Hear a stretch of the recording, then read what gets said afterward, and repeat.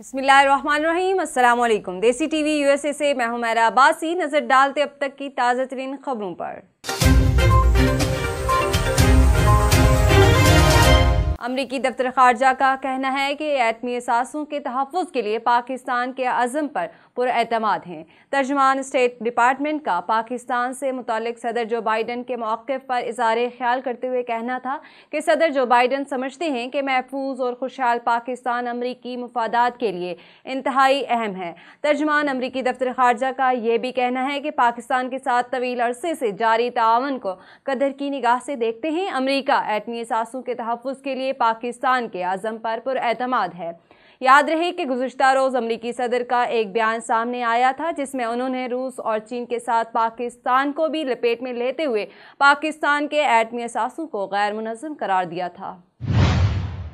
Army chief general Qamar Javed Bajwa ने line of control का दौरा किया। जवानों की ऑपरेशनल तैयारियों पर इतमान का इजहार किया। आईएसपीआर के मुताबिक army chief general Qamar Javed Bajwa ने नौसेरी सेक्टर पर अगले मोर्चों का दौरा किया और वहाँ तैनात जवानों से मुलाकात की। आईएसपीआर के मुताबिक आर्मी चीफ ने कंट्रोल लाइन पर तैनात अफसरान और फौजी जवानों की ऑपरेशनल तैयारियों पर इतमान का इजहार किया। पाक फौज के शोबा ताल्लुकात आमा के मुताबिक आर्मी चीफ को कंट्रोल लाइन की मौजूदा सूरत हाल और ऑपरेशनल तैयारियों पर ब्रीफिंग भी दी गई। Chief election commissioner Sikandar Sultan Raja ने ज़िमनी इंतबात में रुकावट डालने वाले अफराद को फौरी तौर पर गिरफ़्तार करने की हिदायत कर दी। इलेक्शन कमीशन ऑफ़ पाकिस्तान के तर्जमान का कहना है कि चीफ इलेक्शन कमिश्नर पोलिंग के अमल की खुद निगरानी कर रहे हैं। इलेक्शन कमिश्नर सिकंदर सुल्तान राजा ने हदायत जारी करते हुए कहा है कि पोलिंग में मदाखलत और हंगामा आराई करने वालों को फौरी तौर पर गिरफ़्तार किया जाए।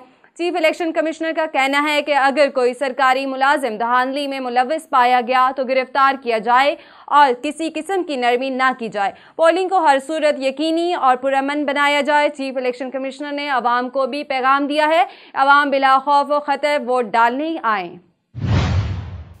इमरान खान ने हुकूमत मुखालिफ मार्च रोकने के लिए शर्त रख दी। पीटीआई चेयरमैन ने कहा है, अगर हुकूमत इलेक्शन की तारीख का ऐलान कर दे तो मार्च नहीं होगा।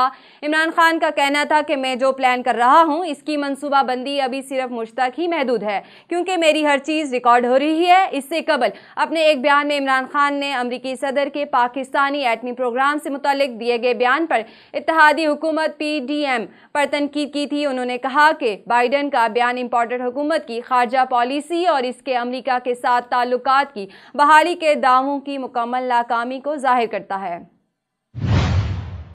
वज़ीर अला पंजाब चौधरी परवेज इलाही ने विफाक की तरफ़ से पंजाब को गंदम इम्पोर्ट करने की इजाज़त न देने पर तशवीश का इजहार किया। वजी अला पंजाब चौधरी परवेज इलाही की जेर सदारत इजलास में गंदम के मौजूदा स्टॉक और दीगर अमूर का जायजा लिया गया। यूरिया, फॉस्फेट, गंदम के बीज और दरामदी गंदम पर सब्सिडी के बारे में तबादला ख्याल किया गया। इस मौके पर चौधरी परवेज इलाही ने विफाक की तरफ़ से पंजाब को गंदम और इम्पोर्ट करने की इजाज़त न देने पर तशवीश का इजहार किया। पंजाब ने खुद अदायगी करके दस लाख मेट्रिक टन गंदम इंपोर्ट करने की इजाज़त मांगी थी। उन्होंने कहा कि सिंध और दीगर सूबों को विफाक की तरफ़ से इंपोर्ट करदा गंदम फ्राहम करने की जा, जा चुकी है। विफाक पहले भी गंदम इंपोर्ट कर चुका है लेकिन पंजाब को शेयर नहीं दिया जबकि पंजाब से इस्लामाबाद को बदस्तूर सोलह हज़ार मेट्रिक टन गंदम फ्राहम की जा रही है। अब तक के लिए इतना ही। मजीद बाखबर रहने के लिए देखते रहिए देसी टीवी यूएसए या फिर विज़िट करें हमारी website Desi TV USA dot com. Thank you.